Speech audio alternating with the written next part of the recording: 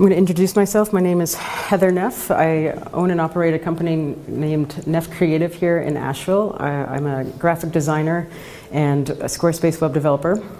I've been in business for 19 years working on e-commerce. So my background is especially in user experience design and user interface design. So we're going to start off with the basics of graphics. A lot of you guys are going to roll your eyes at this, but this is a um, kind of a graphic of how to show vector versus pixels.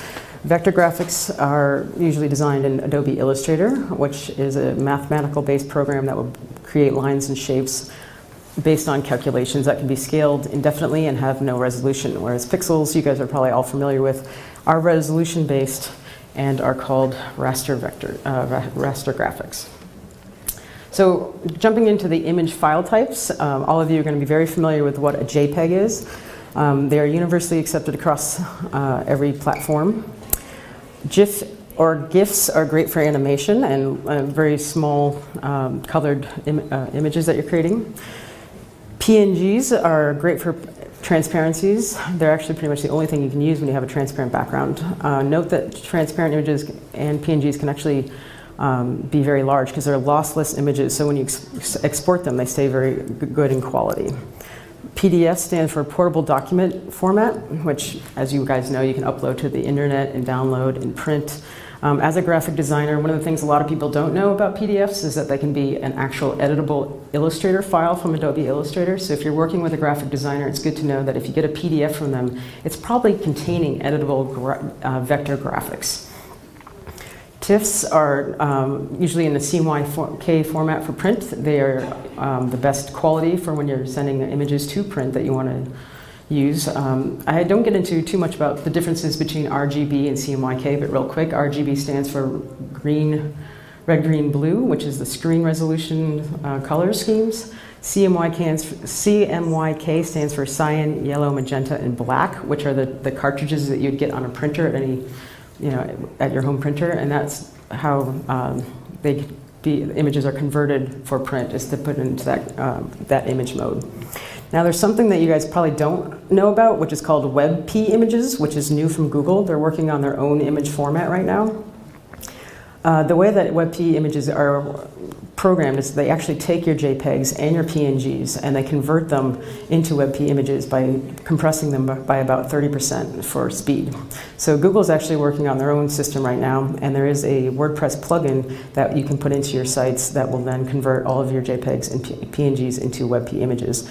But you have to note that WebP images are not supported by every browser, of course Chrome, but not everyone, so then you have to program in fallback images. So keep your eye on that particular type of format. It's coming as they want to speed up the web and of course scalable vector graphics. So I talk a lot about SVGs um, as I'm kind of a fan of them as uh, vector graphics can be much, much smaller in file size than anything pixels. Pixels are always photographs, so you can't actually make an SVG out of a photograph or a pixel-based image. You have to have vector artwork to create a true SVG.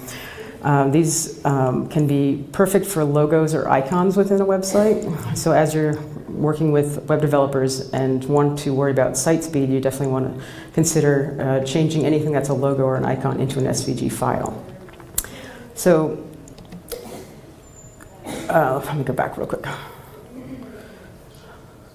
So SVG code can be exported from Illustrator, and I want to show you this, this uh, animation that's happening is something that when you export SVGs from Illustrator, you can actually go ahead and animate it because it's actually XML code as well. And so this is actually a GIF of some SVG code being animated, but it kind of gives you the idea that there's a program called svgator.com that will allow you to animate all your SVG files. So I want to explain retina graphics as well because it's kind of tricky, and this has been something as a graphic designer has driven me a little nuts over the last few years basically what it means is that the web does not care what resolution your images are. It cares how big they are. So when you're exporting an image from Photoshop and you have it standard size and it's 72 res and it's programmed at a certain size, it's going to be what's considered low res. If you double that image and then program it to be 50%, you're, you're, restraining the height and the width of it to be smaller, then it becomes higher resolution. If you have an image that is then basically in a 100% table that can flow back and forth, that can depend on what, you know, what screen it's being looked at. It's either going to be high resolution or it's going to be low resolution depending on what screen, and that's called a fluid resolution. So working a lot with um, Facebook ads and Instagram ads and Instagram and so forth. People should know that when you're uploading the images into these social media platforms, the images are then highly compressed and optimized by those programs. Also, when you're dealing with images, you really don't want to put text on top of images. When you put text on top of image, they're first not search engine friendly and they're not screen reader, reader friendly. So anybody who's uh, blind or deaf, when they're using a screen reader, if you have text embedded into an image, that will not be um, ADA compliant for that. When you're also dealing with images on a mobile device, you want to make sure that you're using really clear and simple fonts that are easy to read because a lot of times people will take a graphic and they'll put a bunch of text on it. And then they don't realize that when they shrink it down into the mobile device, the text becomes almost impossible to read. So I highly advise checking where you're putting text on images, and if you can avoid it, uh, avoid it. If you can't because you're doing something like an Instagram ad, then make it really, really plain and simple, and definitely check it on the mobile device before you, you know, make sure it goes out into the world.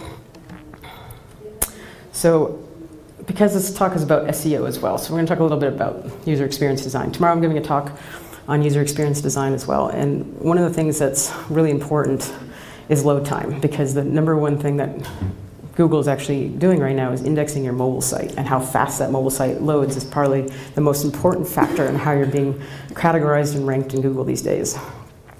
So load time affects everything about that. And Google will also notice if your load time is too high and will start penalizing you and you'll start stop coming up so high in, this, in, the, in the rankings. You also want to make sure that when you're doing basic SEO work that you're doing keyword research. Uh, you guys should be familiar with doing some of that. If you're not, basically use a Google keyword research tool. There's plenty of other tools out there to find what your keywords are. What you want to do is take that uh, list and uh, create a document that would have all of the top keywords for your website. So if you're a web WordPress designer and you are trying to rank for WordPress designer, um, I use this example as what you would want to name your JPEGs. But you also want to realize that when you're designing a website page that has a bunch of different graphics in it, and you just you know, basically keyword stuff with you know WordPress designer.jpg for every single image, Google actually understands that what you're trying to do is kind of SEO for that one particular word and not actually, you're not probably serving up the exact same image. So what you want to do is carefully select your keywords and rename every single JPEG or PNG differently, but with SEO in mind, so that, that Google understands that you are taking the time to SEO your JPEGs and your PNGs with the intention of making sure that they are different images. So that's the next step is to take that same SEO keywords.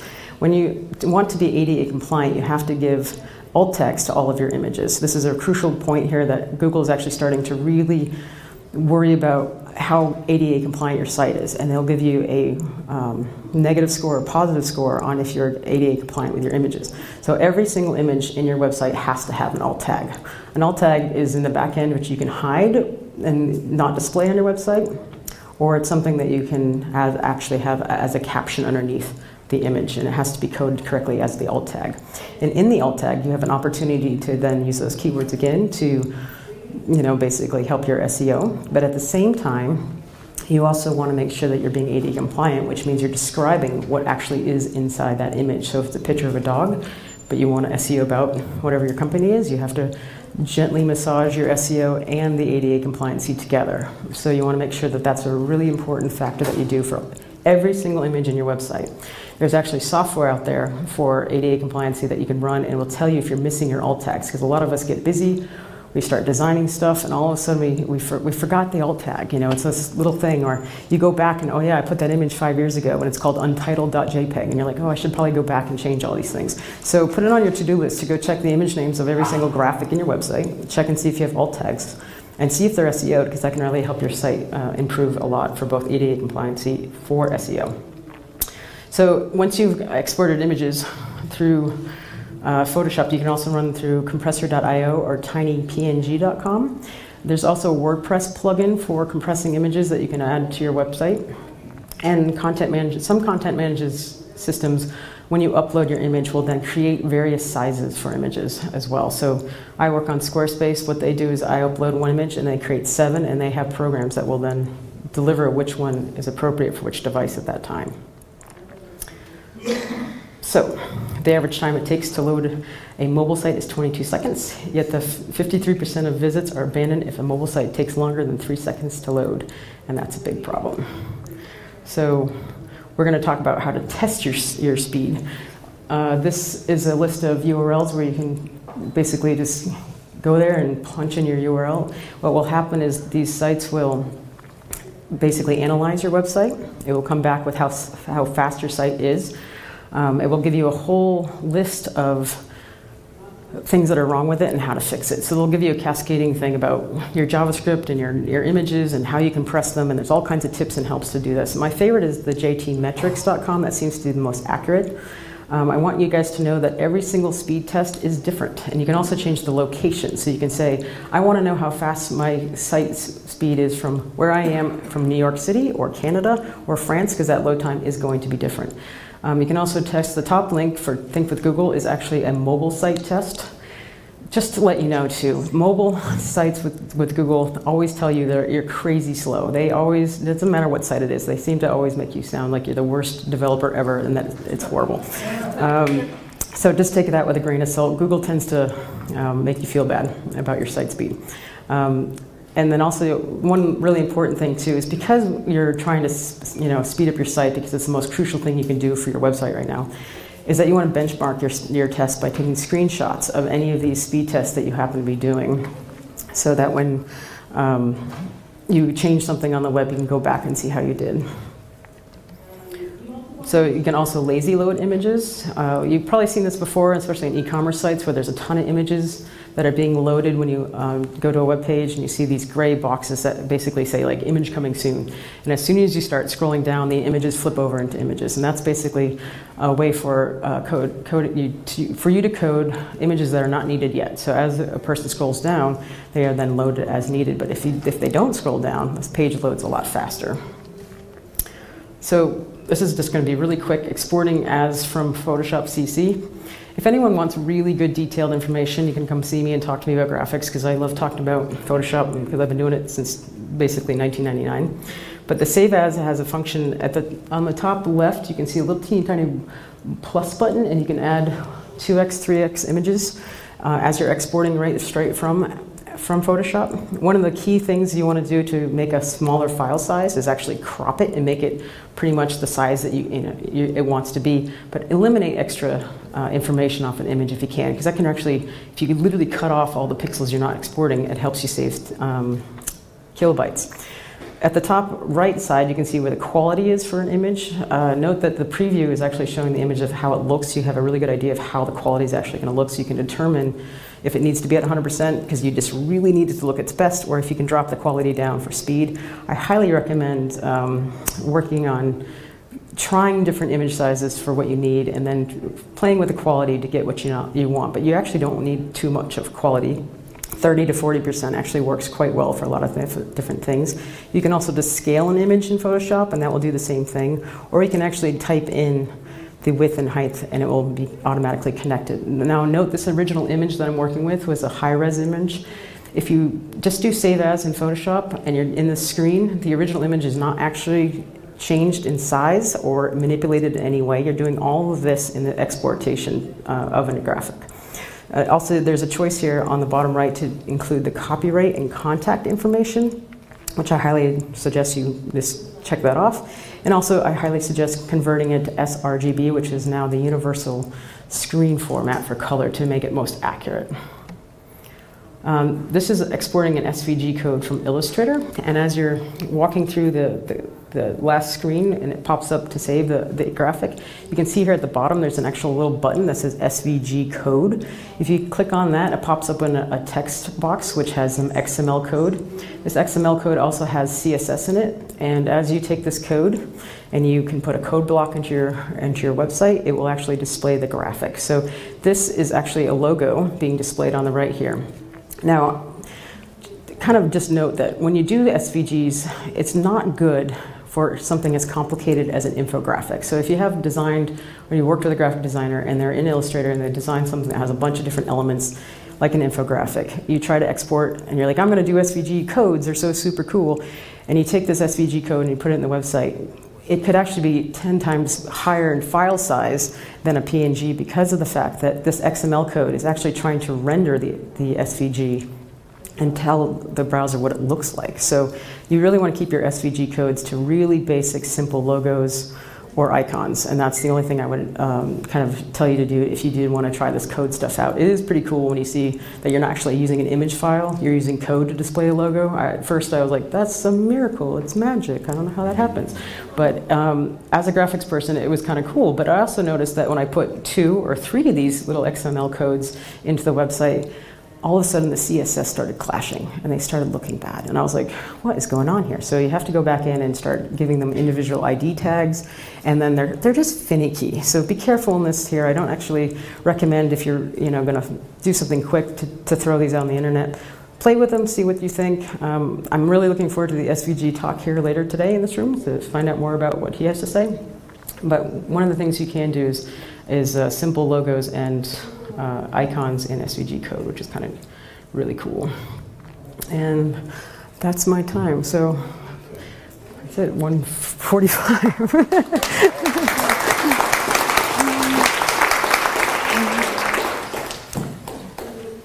uh, lightning talk it is. So.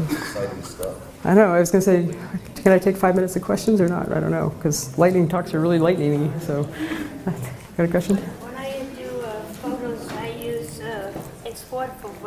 Legacy, is that the same thing as Yeah, I'm actually a huge fan of Export for Web Legacy because it just, I'm a huge fan of the Export for Web Legacy. I used to use it all the time, but when I discovered that you can uh, not actually have to go to image, image size first and then do Export for Web because you can't change the image size in the Export for Legacy, check this the uh, the export as out because you can actually not even resize your you can skip that step of resizing your images completely and it doesn't actually affect the original image so they advanced it quite some and so you just go in and you just do the export yes yes and then actually the, one of the screens that you could yeah so there's also I don't know if I can get back to that screen but the uh, on the top left here, you can see where I've got it down to under 50 kilobytes here. That shows you where the kilobytes are, and that's a really important thing to, to Say it again? You upload the image and you just go export as and you. Uh, yeah, so this is in Photoshop CC. This is the export as uh, screen. And again, you want to keep working on your kilobytes. The number one thing that will kill your site speed is image sizes. So make sure that you get them as close as you can to 50 kilobytes and under. And SVG files, by the way, can be as low as 5 kilobytes. They're actually tiny, tiny. So how, what's a way for like people who don't use Photoshop and aren't designers to reduce that's a very good question. And a lot of people come to me and ask that kind of question. Like, I use Canva. How do I do that? And I go, I don't know. I use Photoshop CC because I'm, a, I'm a professional designer. I don't know how to do that. So there is, I know that there's a lot of screen resolutions where I'm sure if you upload it, if you're not worried about it, you can look, upload stuff into Facebook and that will optimize some stuff. But it used to be that you had a low res screen that you could just screenshot something and it would be kind of a low res version of it. Then I got this Retina screen and I started screenshot things and I was like, that screenshot's three megabytes. Like, how did that happen? So you have to be really careful about that. I know a, lot of people are moving from the cloud subscription of Photoshop to Affinity. Mm-hmm. Do you know anything about Affinity? Does it have? Because uh, I was thinking about buying it. It's only forty bucks, and it's supposed to be comparable to Photoshop? Do you know if it has a lot of these uh, features? I, I don't. I haven't actually used it. It, it does. If you think about Affinity Designer, there's Affinity Photo that kind of replaces Photoshop. Affinity Designer, which is kind of like Fireworks used to be, mm-hmm. which does some raster and some vector together. Mm-hmm. And yeah, if you want to dump the, you know, the Adobe um, read machine. You Yeah, well, that's um, what I was Yeah, wanting to you do. can, uh, it does everything, and it opens all Photoshop files, and you can save as Photoshop. Well, That's I knew that, but I So- know it- someone who actually used it, if it was Yep. comparable. Yeah, I've never tried it price is so before because much I've just been with Photoshop for 20 years, but I do know that you can get Photoshop now just as a single program for $9.99 a month. Um, so that's a nice alternative. They don't have to. They used to make it a package that you had to get it for, I believe, twenty dollars, twenty ninety nine or something. Now it's only nine ninety nine a month. So they're really making it uh, friendly enough that people can at least export your images for web and really control that kilobytes. I can't emphasize that enough. That's probably the number one thing that people don't do is export their images in a proper way to get the kilobytes down. Yes. uh, on the canvas, or the uh, image size area, what is the scale drop down right there? Yeah, so the scale function actually, if you just leave like the normal image, so you open a high-res image, it's like 6,000 pixels wide. If you hit the scale, you can basically use that as a way to drop it to 10% of what it was, and it will automatically bring it down. So It'll it will change all the settings if you try to take the set scaling, yes. Is there a reason you wouldn't want your canvas size and image size to be the same? The canvas size and the image size are the same. It's kind of like, um, they're kind of linked. It's kind of hard to explain. The canvas size is actually, well, they're, yeah. Photoshop treats them in a different way, but they're the same thing, technically.